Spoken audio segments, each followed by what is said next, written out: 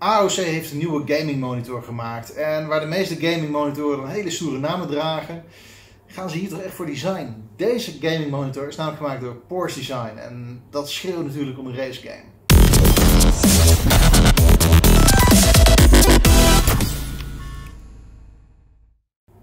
En nu is het tijd om deze Black Beauty uit te pakken. Het is een enorme doos, volgens mij zijn wij de eerste die hem, uh, we horen in ieder geval tot de eerste die hem mogen gaan testen in Nederland. Altijd een mooie primeur om te hebben. In tegenstelling tot de andere AOC monitordoos die ik openmaak, uh, merk ik dat hier ook echt wel even tegenaan bemoeid is. Dit is tof. Even kijken, we hebben uh, hier een dingetje met uh, over hoe je hem eruit moet halen. Daar gaan we zo naar kijken. Het eerste wil ik even laten zien hoe netjes dit eruit ziet. Ah. Kijk, een hele mooie Porsche design doos die mij iets vertelt. Zometeen over dit product. Ik ga ervan uit. Handleidingen, kabels, dat soort dingen. Want kabels levert AOC eigenlijk altijd netjes mee. En dat is uh, sowieso wel redelijk goed geregeld door ze.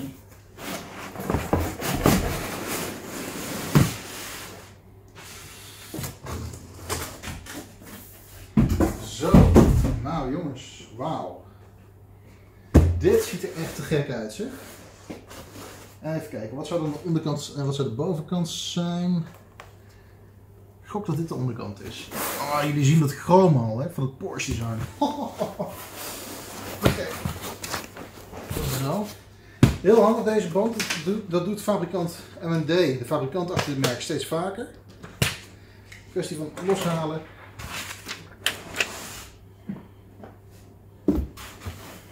Zo. Moet toch andersom.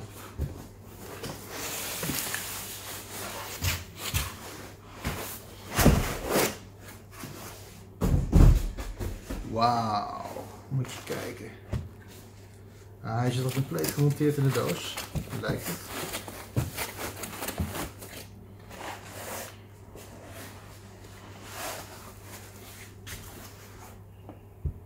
Zo.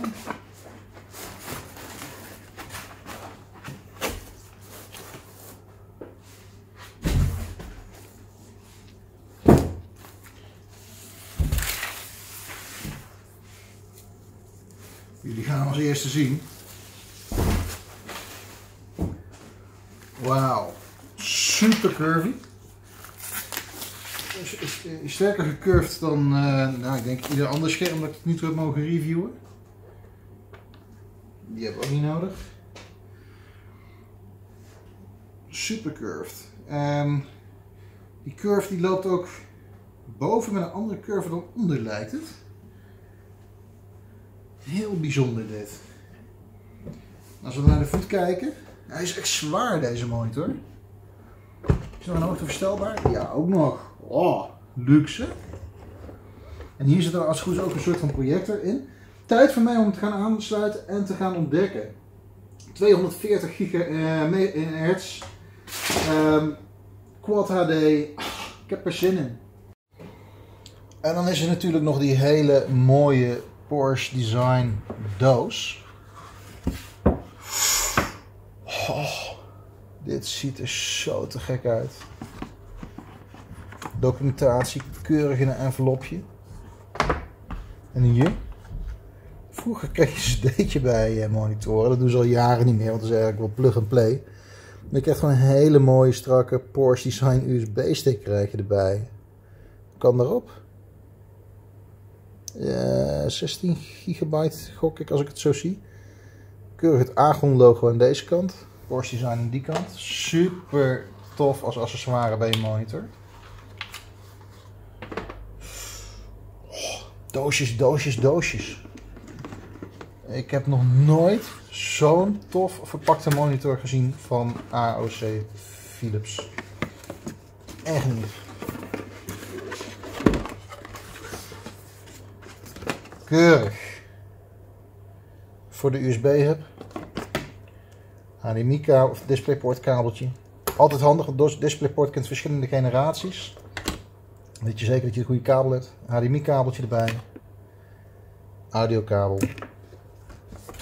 Mooie vulling van deze eerste doos. Dan gaan we naar de volgende doos. Wat grappig dat ze hier ook zo'n leuk, ja, je moet bijna een strikje op doen. Krijg ik nog een beetje fatsoenlijk in elkaar. Zo. Hierin vinden we de stroomkabel. Standaard, een standaard modulaire netstroomkabel. Niet heel spannend. We hebben hier een doosje.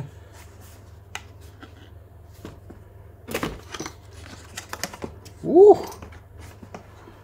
Jongens, jongens, jongens, wat mooi. Oh. Dit is gewoon een afstandsbediening voor je monitor. Keurig vergroomd. Mooi rubber gebruik. Het zou gewoon onderdeel van je Porsche dashboard kunnen zijn. Dit moet je zien hoe mooi. Wauw, wat strak. En daar moeten natuurlijk batterijen in. En ook daar hebben ze bij eh, AOC aan gedacht. Dan krijg je netjes, hoe kan het ook anders. Philips batterijtjes, want het is natuurlijk dezelfde fabrikant als de Philips monitoren. Vandaar dat ik het ook zo uh, redelijk vaak samen noem. Nou, wat gaaf zeg. Even kijken, dan hebben we hier nog een hele grote doos. Hierin verwacht ik uiteraard een powerblok.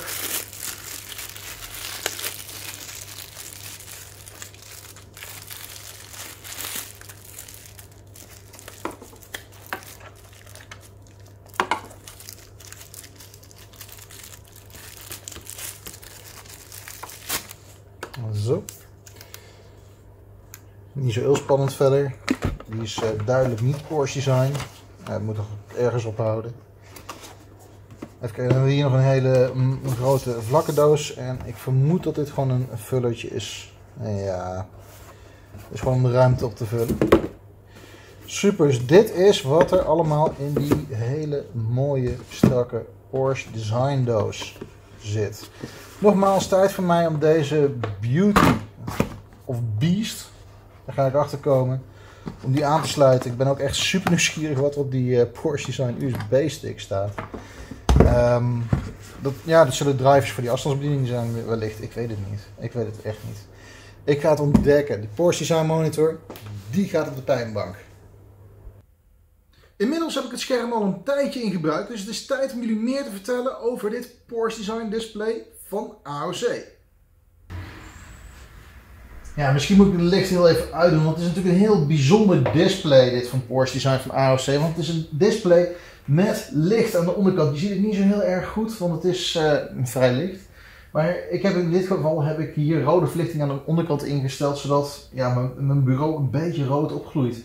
En daar dwars doorheen zit een logo projector die hier Porsche Design logo op het bureau neerzet. Uh, wederom, en schijn op zijn velst, dan is het overdag niet heel goed te zien. Maar als je s'avonds aan het gamen bent, dan is dat wel echt super tof wat dat betreft. Uh, het display zelf qua curve echt super fijn. Uh, omdat die curve, ja, die loopt echt gewoon heel mooi strak rond voor een gaming display. En dat betekent dat je veel meer echt immersive in de game zit.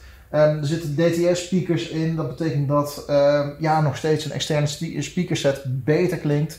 Maar voor een monitor klinkt dit echt fantastisch. Je kunt er zelfs een beetje zeggen dat er een beetje bass in zit. Dat, dat, ja, dat zeg ik toch niet snel van een monitor. Dus dat doen ze echt hartstikke goed. En dat is een Quad HD display met 1 milliseconde uh, vertraging erop zitten. Dat is voor gaming ook gewoon heel erg fijn. Maar ik moet zeggen, ik ben er toch vooral op aan designen, foto's bewerken, video's bewerken. Uh, en dan laat het display met, met een hoge resolutie zien dat je gewoon echt um, ja, heel precies en heel gedetailleerd kunt werken. Dus dat is echt super prettig. Nou, was er meer super tof? Dat is de hub die achterop zit. En daarvoor ga ik hem even omdraaien. Wanneer je de achterkant van dichtbij bekijkt, dan zie je ook veel meer van de verlichting die erin zit. Trouwens, sowieso is het een voet die we dus op hoogte kunnen aanpassen. Gaming doe, ik het liefst in deze stand gewoon lekker laag, dicht op het toetsenbord. Terwijl als ik echt zit te werken de hele dag, ja, dan gaat hij gewoon omhoog, zodat lekker ergonomisch correct zit. Je ziet dat hier een verlichtingsunit in de voet zit. Er zit ook een verlichtingsstrip hieronder, daar komt het licht vandaan. En als je één kleur licht instelt, en je hebt niet zo heel veel kleuren waar je uit kunt kiezen, maar als je één kleur licht instelt, gaat het perfect. Er zitten ook wat geanimeerde lichtkleuren in. En ik moet zeggen, dat is wel echt een beetje bagger. Want het is niet zo dat kleuren heel mooi in elkaar overlopen. Ook breathing effecten en zo. Het is het allemaal net niet. Gewoon één kleur kiezen, daarmee gaan en dan is het goed. In deze unit zit dus ook die logo projector. Je ziet hem hier nu een klein beetje op mijn hand verschijnen. Die schijnt dus op de grond. Je ziet uh, dat het eigenlijk is het gewoon een, uh, een, een, een, ja, een klein ja, beamertje, zeg maar. En je ziet dat hier echt wel um, ja, lenstechnisch een goedkope projector is gebruikt. Want je ziet echt gewoon ja, chromatische verschuivingen plaatsvinden. Um, tegen de tijd dat, dat hij op je bureau schijnt, is dat een heel stuk minder. Dus het lijkt echt gewoon wit. Maar het, mm, ja, het, het, is, het is een goedkoop projectortje.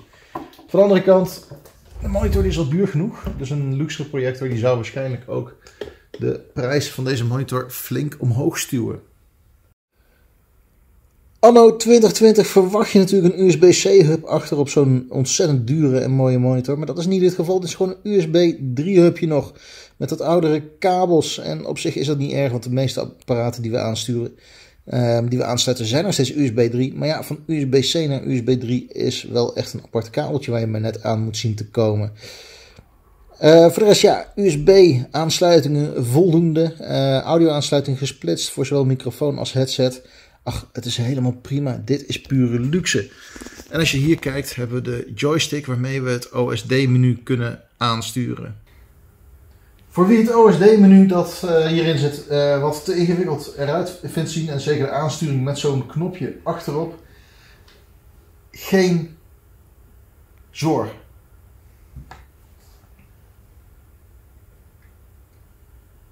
We vinden in deze monitor een prachtig Porsche design OSD-menu, onscreen display menu. En hier kun je alles instellen wat je maar wil aan deze monitor. Al moet ik wel zeggen dat een hoop instellingen, eh, dat we daar niet bij kunnen. Dat we eigenlijk moeite hebben om uit te vinden waarom. De documentatie is absoluut karig. Um, we hebben hier bijvoorbeeld de kleurinstellingen. Ik weet niet waarom ik hier niet in mag. En datzelfde geldt voor de spelinstellingen. In de handleiding heb ik heel veel informatie over deze punten om in te stellen. Die wil ik instellen. Ik mag het niet. Ik weet niet waarom.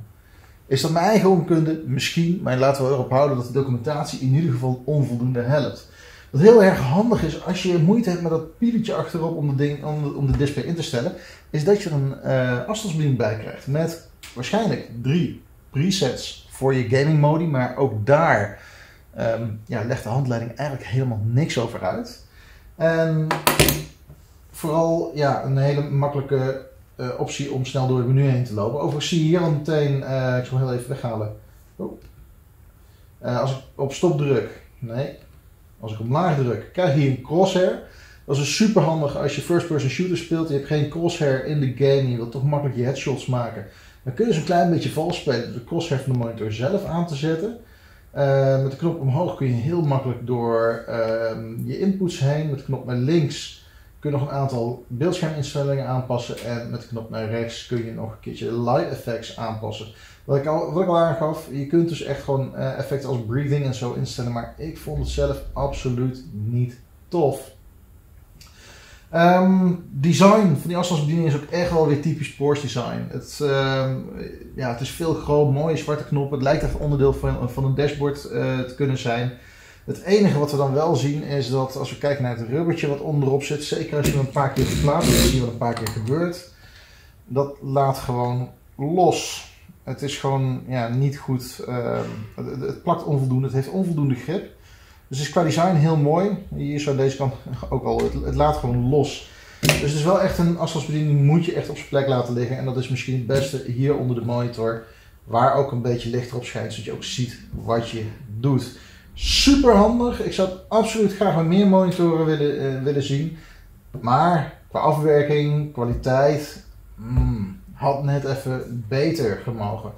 Het is Porsche design. We mogen streng zijn.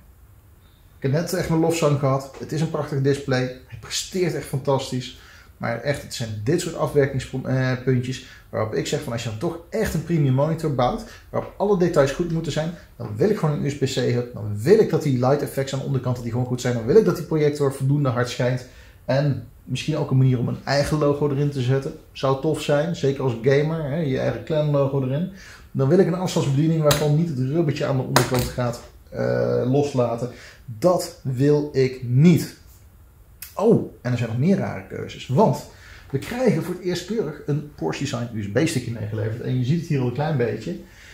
Het hele menu wat je daarmee op kunt starten is gebaseerd op Adobe Flash. En zoals we allemaal weten, per 1 januari 2020 is Adobe Flash afgeschoten door letterlijk iedereen. Dus ik ben blij dat deze computer nog niet up-to-date is, anders zou ik hem misschien helemaal niet meer kunnen draaien, die USB-stick. Ja, dat zijn van die dingetjes, jongens. Kom op. Details, daar gaat het om. Zeker bij dit soort super dure producten. En ik ben absoluut een fan van de monitoren van MMD, de fabrikant van AOC en Philips. Ze maken absoluut top monitoren. Maar hier bij Porsche Design verwacht ik wat meer. En word ik eigenlijk niet beloond. Dat vind ik jammer. Krijgt hij dan voldoende? Absoluut niet. Wat hij wel krijgt, zie je op Gadget Gear. In de reacties onderaan de video, daar zie je de link naar de review. En daar ga ik nog even een keertje goed in op de specs, de, eh, de mankementen, ook de pluspunten. En vertel ik jou precies welke score die krijgt. Voor nu, ciao, dit was Gadget Gear.